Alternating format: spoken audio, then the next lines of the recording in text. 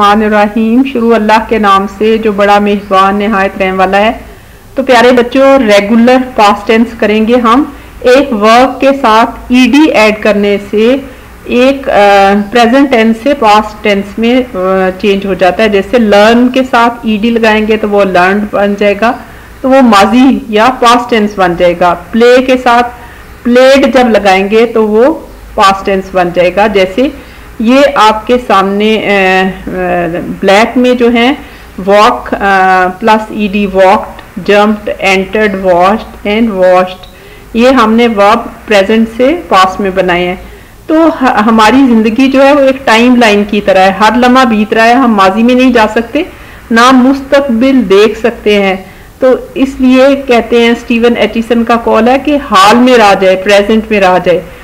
माजी की गलतियों और मायूसियों का साया मुस्तकबिल पर ना पड़ने दो। माजी की गलतियाँ सबक सीखने के लिए होती हैं, ना कि ना इंसान को अल्लाह से ना उम्मीद नहीं होना चाहिए और उम्मीद के साथ अपने मुस्तकबिल के लिए काम करना चाहिए।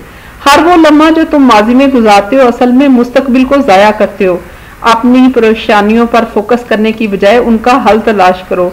तो प्यारे बच्चों, अपना हल तलाश करें, अपने जहन को खोलें ये जो हम आज हवाओं में उड़ते हैं, ये मोबाइल फ़ोन यूज़ करते हैं, ये किसी ने सोचा था इन फासले कम करने का, आवाज़ को दूर तक पहुँचाने के बारे में सोचा था तो उसके बाद ये चीज़ें वजूद में आई तो आप भी अपनी परेशानियों का हल निकाल सकते हो। अब आप पिक्चर्स के look at the picture read and write the ED words okay Ayesha जो है, वो कहाँ जा रही है? स्कूल जा रही है। तो यहाँ पे क्या आएगा? आयशा, जो आपने पहले वर्ड्स वर्ब्स पढ़े हैं, उनमें से लगाएँ Ayesha walked to school walked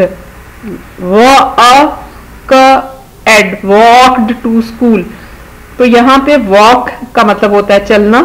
Ayesha पैदल चल के स्कूल गई थी। पास्ट टेंस हो गया। नेक्स्ट है आयशा क्या कर रही है आयशा वॉश कर रही है अपने हाथों को। वॉश कहते हैं धोने को। अब यहाँ पे इसकी पास्ट टेंस में लिखे। वीडियो को स्टॉप करें शाबाश। तो ये आ जाएगा, आपने बिल्कुल ठीक लिखा, Ayesha washed her hands Ayesha ने अपने हाथ धोए थे। हमने वॉश जो है, धोने के साथ सिर्फ़ ईडी ऐड किया है तो ये पास्ट टेंस बन गया। इसी तरह नेक्स्ट पिक्चर देखें, आयशा आयशा क्या कर रही है? Ayesha is Ayesha jump jumps over a walk rock Ayesha ने चट्टान के ऊपर कूद रही है, छलांग लगाई है। तो ये आ जाएगा Ayesha jumped over a rock rock जो है वो चटान को कहते हैं। तो Ayesha jumped over a rock Ayesha ने चटान के ऊपर, पत्थरों के ऊपर छलांग लगाई या वो कूदी। नेक्स्ट क्या है? आयशा दरवाज़ा खुला है। आयशा स्कूल में आई है, क्लासरूम में आई है। आयशा एंटर्ड द क्लासरूम शाबाश। तो एंटर कहते हैं दाखिल होने को। और वो दाखिल हुई थी। आयशा एंटर्ड द क्लासरूम हमें अगर एंटर के स्पेलिंग आते हैं तो आगे हमने सिर्फ़ ईडी लगाना है तो ये पास्ट टेंस में चेंज हो जाएगा। Entered Ayesha entered the classroom अब नेक्स्ट क्या कर रही है? आयशा वॉच्ड क्या वॉच कर रही है? टेलीविज़न तो इसे हम पास्ट टेंस में करेंगे। शाबाश ईडी वॉच के साथ ईडी लगा देंगे तो ये बन जाएगा।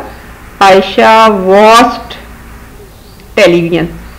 आयशा ने देखा था। टेलीविज़न वॉच का मतलब होता है निगरानी करना, देखना, ठीक है? Ayesha watched television. आयशा ने टेलीविज़न देखा था। तो प्यारे बच्चों, अल्लाह ताला के घर से हमें पाँच वक्त आवाज़ आती है, कामयाबी की तरफ़ आओ। तो हमें कामयाबी जो है, वो जमाने में मुआज़ थे, मुसलमान होकर, तुम ख्वार हुए तारक के कुरान होकर। तो अल्लाह ताला कहता है कि जो भी तुम्हारे पास है वो अल्लाह की राह में खर्च करो। तो अभी आज से फैसला करें। जो कुछ भी आपके पास नेमते हैं जो कर सकते हैं वो अल्लाह की राह में खर्चे। आहिस्ता आहिस्ता आपका बैंक बैलेंस जो है जो असल में बैंक बैलेंस है जो कभी खत्म नहीं होना और जिसे अल्लाह चाहे तो 700 गुना तक बढ़ा सकता है वो बढ़ता जाएगा। अब आप एज अ स्टूडेंट क्या कर सकते हैं? अगर आपको उर्दू पढ़नी आती है तो आप कुरान जी तर्जमे से पढ़ सकते हैं। आ, ऐसी ज़ुबान में जो आपको समझ आए फिर नबी करीम वसल्लम की सुन्नत, सीरत हदीस पढ़ सकते हैं, क्योंकि एक हदीस पे अमल करने का सवाब सौ शहीदों के बराबर मिलता है। और नबी करीम वसल्लम की सुन्नतों पे अमल कर सकते हैं, जैसे आपको पता है कि मुस्कुराना भी सदका है, अच्छी भली बात करना भी सदका है, किसी को कंधा देना सपोर्ट करना अपने गुस्से को पी जाना, ये सारी सुन्नतें हैं, सच बोलना। तो झूठ सफ़ाई अपने सफ़ाई निसवे मान है। तो ये आप इलम हासिल करेंगे, प्रैक्टिस करते जाएँगे तो सोचें आप कितने अमीर होते जाएँगे। हर हाल में सच बोलना, एक आपको पता है कि नबी करीम सल्लल्लाहु वसल्लम ने कहा, जिसने सच बोलना सीख लिया, झूठ से पीछा छुड़ा दिया, वो सारी बुराइयाँ उसकी छूट जाती हैं। फिर हम अपने लिए और अपने इर्द गिर्द के लोगों के लिए दुआ मांग सकते हैं। अल्लाह ताला जो है, हम सबको ईमान दे, हमें सच बोलने की तोफीक दे। हमारे, हमें अपने सोचने की और अपनी मुश्किल और परेशानियाँ दूर करने की तोफीक दे। और फिर एक ये अहद करें कि किसी को नुकसान नहीं पहुंचाना अपनी ज़बान से, अपने हाथ से, अपने पाँव से। रास्तों से पत्थर हटाना ये भी एक सदका है। तो प्यारे बच्चों, उम्मीद है आपको सबक पसंद आया होगा। इससे लाइक और शेयर करना मत भूलिए।